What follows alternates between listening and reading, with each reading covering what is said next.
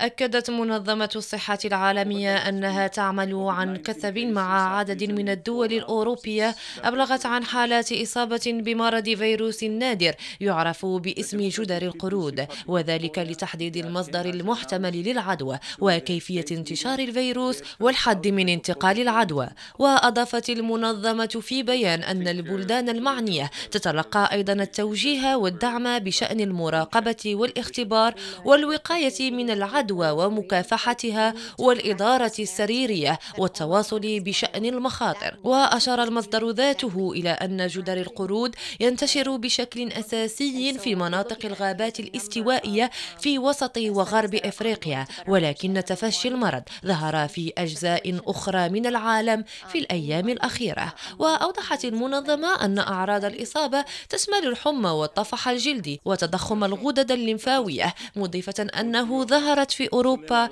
أكثر من 100 حالة إصابة وفق تقارير إعلامية.